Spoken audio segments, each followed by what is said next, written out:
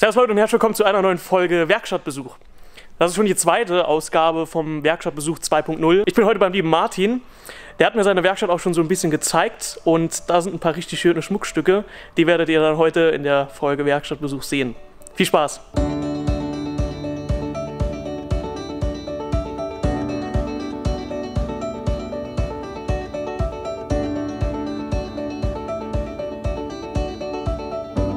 Hallo Martin, danke, dass ich vorbeikommen darf. Sehr gerne. Stell dich doch mal den Zuschauern vor. Wer bist denn du? Ich bin, ich bin Martin Gutenberger, wohnhaft in Langelohnsheim, 33 Jahre jung, verheiratet, Vater einer zweijährigen Tochter. Als Beruf mache ich Außendienst und vertreibe Absauganlagen für Schreinereien beziehungsweise auch für die Papierindustrie. Von kleinen Schreiner bis hoch in die Papierindustrie.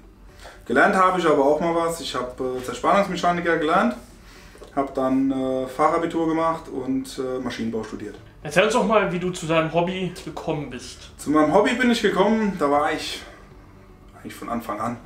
Der Vater hat früher schon viel selbst gebaut zu Hause. Wir hatten früher in der Garage zu Hause ganz viel äh, gebastelt, Wandschränke und ja, so bin ich eigentlich zu meinem Hobby gekommen. Ich mache das eigentlich schon immer. Derzeit äh, baue ich für meine Tochter ein neues Bett. Meine Frau wollte ein Unikat haben und äh, da hieß es dann, du machst das. Also hier kommen wir in die Werkstatt hinein durch unser 4 Meter großes Hallentor. Hier können wir alles reinfahren, was wir wollen. Ob jetzt LKW-Wagen oder Wohnanhänger oder was auch immer. Oder wenn ich, mal, wenn ich neues Holz kriege, kann ich im Trockenen ausladen. Das ist halt der Riesenvorteil hier. Ja, dann kommen wir hier. Hier oben habe ich noch ein bisschen Massivholz rumliegen. Neue Fichte Tanne habe ich mal günstig gekriegt. Sind so, ich glaube, 40 Bohlen in 4,50 Meter Länge, Breite 40 cm bis 70 cm. Ist alles dabei. Ja. Hier kommen wir dann halt auch durch den Eingangsbereich in, unsere, in die Werkstatt selbst hinein, in das kleine Reich. Hier sieht man jetzt mein Projekt, mit dem ich hier gerade beschäftigt bin, äh, für meine Tochter das neue Bett. Hier haben wir meine schöne Eder Standbohrmaschine. Wir haben gerade eben nochmal geguckt von 1983. Die Maschine habe ich äh, aus einem Nachlass gekauft damals. Da waren noch meine großen Schraubzwingen dabei. Ähm, die Maschine hat noch genau 1 PS und äh, noch ein 16er Bohrfutter.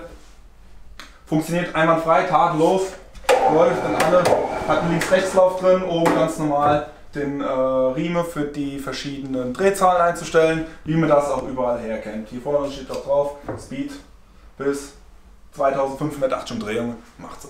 Dann haben wir hier meine schöne lange Werkbank mit meinen äh, Schränken drin, wo ich meine ganzen Messwerkzeuge, Messwerkzeuge, Schlagzahle, was man so alles in die Schubladen braucht. Oberfräsenfräser, Bohrer, Schleif, Schleifteile. Dann haben wir Fräser für meine schöne kombinierte, für die Tischfräse. Schleifmittel, Lamellos und wie jeder andere auch eine Buhlschublade. Gibt es bei uns auch. Was gefällt dir denn an deinem Hobby am besten? An meinem Hobby gefällt mir eigentlich am besten, dass ich nach einem stressigen Arbeitstag in die Werkstatt komme, den Kopfhörer anziehe, die Musik ganz laut drehe und einfach meinen Kopf abschalten kann. Und mit meinen Händen was mache und abends oder wenn ich fertig bin, sehe, was habe ich getan. Was magst du gar nicht, wenn du in der Werkstatt, Werkstatt bist? Was ich gar nicht mag, wenn man mich erschreckt von hinten, wenn ich die Kopfhörer im Ohr habe und es geht auf einmal die Tür auf und buh. Hier oben drauf steht, das Allerwichtigste in der ganzen Werkstatt. Werkstatt Radio, ne? Ist Radio. Ja. Ein altes, Mar ist äh, die erste Baureihe von Makita noch ohne Bluetooth. Dazu habe ich mir jetzt einfach einen Bluetooth-Empfänger gekauft und habe mir den mit dran gehangen. Somit kann ich übers Handy jetzt meine Musik hier auch hören, wie ich das will. Ein Schwenk weiter haben wir meinen äh, Kappsägentisch oder Kappsägenstand. Hier kann ich links 2,10 Meter und rechts 3,20 Meter anlegen. Die Maschine habe ich äh, damals von meinen Eltern zu Weihnachten bekommen und musste unter dem Tannenbaum schon äh, den ersten Schnitt mitmachen. Das ist eigentlich hier drin die älteste Maschine, die mir persönlich gehört. Diese Jet Zugkappsäge für Grobzuschnitte zu gebrauchen, für Feinschnitte eher weniger. Für die Feinschnitte, für Gärungen zu schneiden, egal welche Größe, welche Variationen, von meiner lieben Frau zu meinem Geburtstag vor zwei Jahren bekommen. Meine Festool 75E. Die hat einfach den Vorteil, ich kann hier mit der Schmiege anlegen und kann Winkel schneiden auf Gärung, egal welche.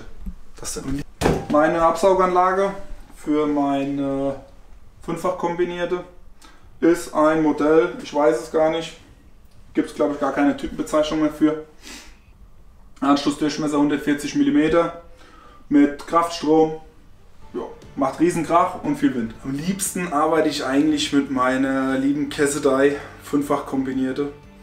Da hobeln, ob hobeln, ob fräsen, ob sägen, geht alles. Die Maschine haben wir damals bei einem Händler von uns in äh, der Schweiz gekauft ja, und haben die dann nach Deutschland auch überführt, sodass die auch richtig mit Importschein und hast du nicht gesehen. Und so sind wir zu dieser schönen Maschine gekommen. Das Ganze hast du per Spedition kommen lassen? Spedition, genau, okay. Spedition. Ist die rübergekommen, weil die muss ja auch als Einfuhr muss die auch verzollt werden. Ja, und dann haben wir uns die geholt. Man gönnt sich ja sonst nichts. Ja, so das ein oder andere gönnt man sich dann doch. Das ist ein altes Schätzchen von 1991. Made in Italien. Kessedei gehört heute zu SCM. Und das ist schon eher eine Semi-Profi-Maschine. Hier haben wir zum einen äh, eine ganz normale Kreissäge mit Schiebeschlitte, der jetzt noch arretiert ist, jetzt nicht mehr. Mit Anschlag hier für zum Abschneide, Anschlag hier. Dann haben wir einmal, mal rum, die sogenannte Tischfräse, Spindel. Hier habe ich eine 30er Aufnahme, hier kann ich verschiedenste Fräser drauf machen. Ich habe jetzt hier so einen Kombi-Fräser drauf, von dem ich, wie man vorhin in meinen Schubladen schon gesehen hat, die ganzen einzelnen Messer noch draufsetzen kann.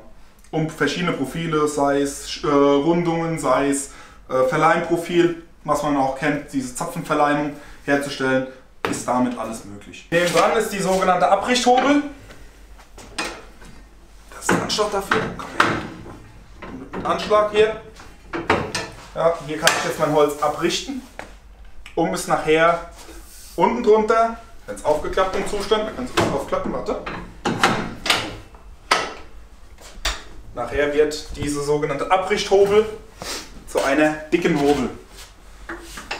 Die Hobel kann, hat eine Hobelbreite von 30 cm und kann rundum wunderschön das Holz hobeln. Des Weiteren wird über die Hobelwelle hier hinten, was wir gerade eben schon gesehen haben, dieses Langlochbohraggregat, betrieben. In dieses Bohraggregat kann der sogenannte Langlochfräser eingesetzt werden. Mit diesem dieses Fräser gibt es in allen Größen Variationen. Ich glaube, meine Aufnahme geht bis 12 mm. Gibt du deiner Werkstatt eine besondere Geschichte? Wie bist du zu ihr, zu ihr gekommen? Ja, Wie groß ist sie? Wie groß sie ist? Äh, 7 Meter auf 4,60 Meter. Okay. Ist, äh, sind die Grundmaße meiner Werkstatt. Sie ist halt in einer 300 Quadratmeter großen Halle, äh, die damals für die Firma gebaut wurde und jetzt nur noch in privater Nutzung ist.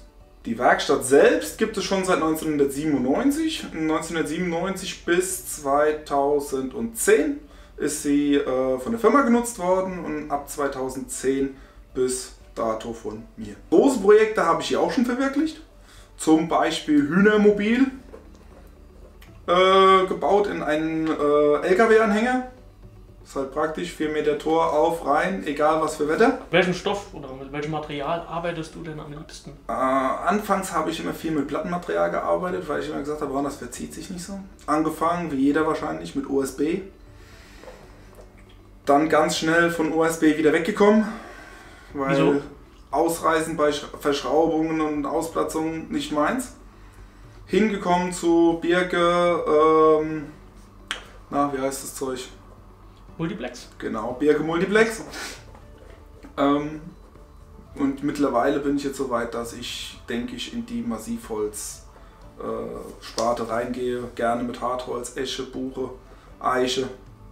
Ja, da bin ich jetzt gerade dabei, mir einen Vorrat anzulegen. Du hast mir eben schon ein bisschen was gezeigt von der Massivholz. Ja. Wie kommst du denn an das Massivholz ran? Wie ich an das Massivholz rankomme. Da äh, ein Freund von mir ist ein Gartenlandschaftsbauer und äh, die machen immer ganz viel äh, Obsthölzer und auch normale Eichenhölzer, Buchehölzer weg. Und äh, der ist so freundlich und hebt mir dann die schönen Stücke auf. Die bezahle ich auch, die schönen Stücke, so ist es nicht. Und äh, dann, werd, dann tue ich die mit meinem Kettensägewerk in Bohlen schneiden, ein Jahr trocknen lassen und dann äh, suche ich mir jemanden, der eine Trockenkammer hat und lasse mir die auf 8% Feuchte runtertrocknen, dass man auch Möbel draus bauen kann. Weil alles, was feucht ist, wie 8%, reißt. Habe ich beim Flip gesehen in seinem Video. Sein Regal für seine Sägeblätter. Und da muss ich sagen, das hat mir so gut gefallen, dass ich es einfach mal nachgebaut habe. ich denke, das ist auch eigentlich ein schöner Abschluss. Martin, vielen lieben Dank für die coole Werkstatttour. Natürlich. Danke für den Kaffee auf jeden Fall. So viel wie du möchtest. Jederzeit. Hast du Instagram irgendwas? Ja, habe ich schon, aber benutze tue ich es nicht. Ich gucke nur. Ja, okay. Danke auf jeden Fall für die coole Tour. Na klar. Und Sehr gerne. ich sag mal bis bald. Sehr gerne. Schön, dass ihr bis jetzt am Video dran geblieben seid.